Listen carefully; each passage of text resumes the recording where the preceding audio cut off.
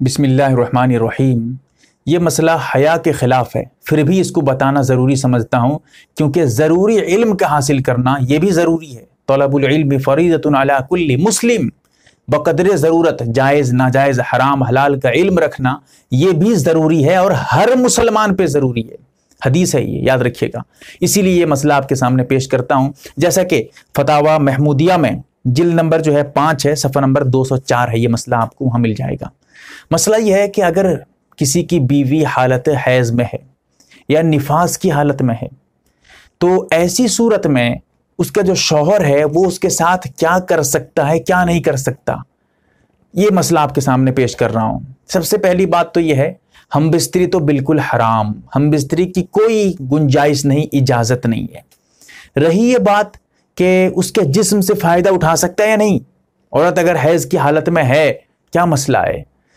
دیکھیے، ناف سے لے کر گھٹنے تک کا جو حصہ ہے، عورت کے جسم کا، ناف کے نیچے سے لے کر گھٹنے تک کا حصہ، اگر یہ بلا پردے کے، بلا حائل، بنا کپڑے کے وہاں چھوتا ہے یا یا اس کا استعمال کرتا ہے، اس سے جو ہے لطف اندوز ہوتا ہے، تو یہ ناجائز ہے مکروح تحریمی ہے، جائز نہیں ہے۔ ہم بستری نہیں کیا ہے۔ صرف شرمگاہ وغیرہ سے جو ہے وہ یہ کر رہا ہے رگڑ رہا ہے اپنی شرمگاہ کو، یا پھر جو ہے اس سے جو ہے وہ کھیل رہا ہے، کچھ بھی کر رہا ہے۔ ایسی صورت میں بھی یعنی اپنے آپ پہ یقین ہے آدمی کو کہ بھائی میں ہم بستری نہیں کروں گا، لیکن میں ایسا کرتا ہوں۔ تب بھی ناجائز، بالکل اجازت نہیں۔ مکرو تحریمی ہے، ناف سے لے کر گھٹنے تک کا، بنا کپڑے کے، بغیر کپڑے کے۔ ہاں اگر کپڑے کے ساتھ ہے اور اس کے علاوہ ناف سے لے کر گھٹنے کے علاوہ پیر کے نیچے والے حصے، گھٹنے سے نیچے والا حصہ ہے، ناف سے اوپر والا حصہ ہے، سینہ ہے، سر ہے، منہ ہے، یا پھر جو ہے جسم کا کوئی اور حصہ ہے، ہاتھ ہے، پیر ہیں، بالکل جائز ہیں۔ یہاں پر بھی کسی طرح چاہے کپڑے ہوں یا بنا کپڑے، دونوں طرح فائدہ اٹھا سکتا ہے، کوئی حرج نہیں ہے۔ لیکن ہاں اتنا یاد رہے کہ کوئی ایسی حرکت نہ ہو کہ جس سے جمع کا جمع تک آدمی پہنچ جائے۔ اور علماء نے یہ بھی لکھا ہے، اگر جمع کا خطرہ ہو اور آدمی کو جو ہے کنٹرول نہ ہو یا پھر اپنی بیوی تو حیض میں ہے جمع نہیں کر سکتا، اس وجہ سے جو ہے مستزنی کا اسے اندیشہ ہو، یا پھر جو ہے کوئی اور دقت ہو یا کسی دوسری عورت کے پیچھے لگ جانے کا اندیشہ ہو، زنا میں مبتلا ہو جانے کا اندیشہ ہو، تو ایسی صورت میں وہ اگر چاہے گا تو اپنی بیوی کے پیٹ پہ یا پھر سینے پہ یا پنڈلی ونڈلی پہ، پیر پہ، ہاتھ پہ اس طرح جو ہے شرمگاہ کو رگڑ کر منی خارج کر سکتا ہے، لیکن مکرو ہوگا ایسا کرنا، مناسب نہیں ہوگا اچھا نہیں، علماء نے لکھا ہے کہ اس طرح کر سکتا ہے، امید ہے کہ اسے عذاب نہ ہو مستزنی کا گناہ نہ ہو، لیکن مناسب علماء کہتے ہیں ہم پسند نہیں کرتے ہیں اس طریقے کو، اس طرح نہیں کرنا چاہیے۔ ہاں ایک چیز اور یاد رکھیے گا۔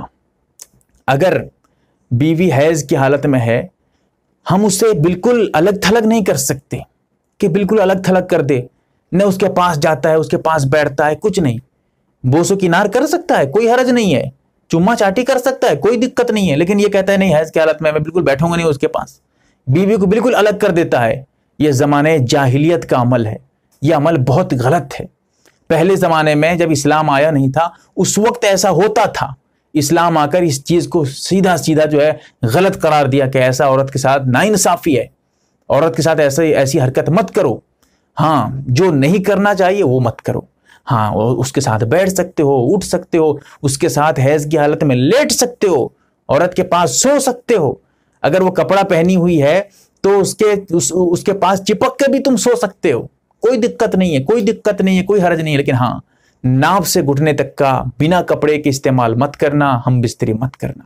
اللہ تعالیٰ ہمیں سمجھنے کی توفیق دے۔ یہ مسئلہ میں نے واضح طور پہ کھلم کھلا، صاف صاف بتایا ہے۔ کیوں؟ وجہ ہے اس کی۔ کیونکہ لوگوں کو ان مسائل کی ضرورت ہوتی ہے۔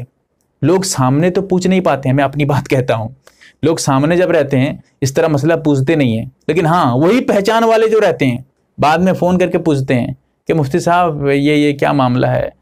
ذرا وہ بھی آگے پیچھے ہو کر ڈگمگاتے ہوئے سوال کرتے ہیں۔ بھائی، مسئلہ جب حرام، حلال، جائز، ناجائز کی بات آئے تو واضح طور پہ قرآن نے بھی مسئلے کو کھلم کھلا بیان کیا ہے جہاں پر جس طرح ضرورت ہے۔ حدیث میں بھی اللہ کے رسول نے کھول کر بیان کیا ہے صاف صاف، کیونکہ جائز، ناجائز، حرام، حلال کا علم تو ضروری ہے۔ جب تم جانو گے نہیں، پوچھو گے نہیں تو کیسے پتا چلے گا؟ اسی لیے میں نے اس ویڈیو میں کھل کر صاف طور پہ بتایا ہے، جن لوگوں کو برا لگا ہوگا، معذرت خواہ ہوں، لیکن برا کیوں لگے گا بھائی؟ جب برا لگے گا تو پھر دینی علم جو ضروری مسائل ہیں، کیسے آپ تک پہنچے گا؟ آپ کیسے سمجھیں گے اس کو؟ اسی لیے میں نے اس کو حیا کے خلاف ہونے کے باوجود بھی واضح طور پہ بیان کیا ہے۔ اللہ تعالی ہمیں سمجھنے کی توفیق دے۔ آمین یا رب العالمین۔